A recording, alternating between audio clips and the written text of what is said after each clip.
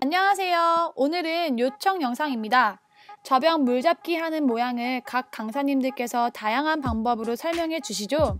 이해를 돕기 위한 설명을 하는 것이니 결국 항아리 모양이나 S자나 같은 맥락이라고 보시면 됩니다. 좀 더 재밌고 이해하기 쉽게 설명을 찾아 하시는 모든 수영 강사님들 수고가 많으십니다.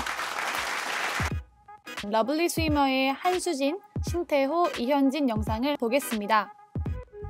손을 recovery 시킨 후 입수에서 들어가는 동시에 가슴을 눌러주며 바로 물 잡는 동작으로 이어집니다.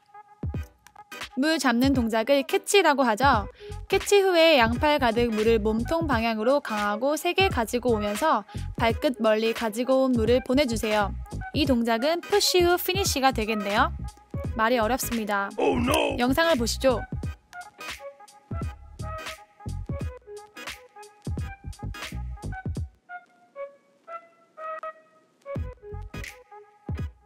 저는 앞에 분들과는 다르게 조금 더 큰 동작으로 물잡기를 해보겠습니다.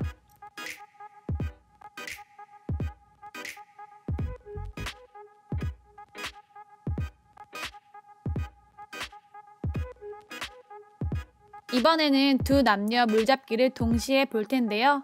다섯 타임으로 나눠 보겠습니다.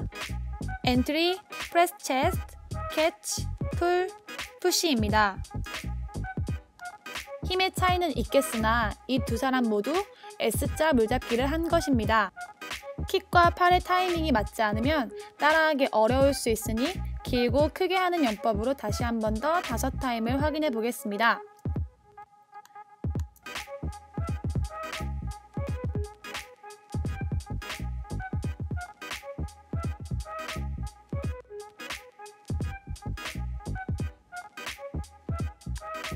오늘 영상 즐겁게 보셨나요?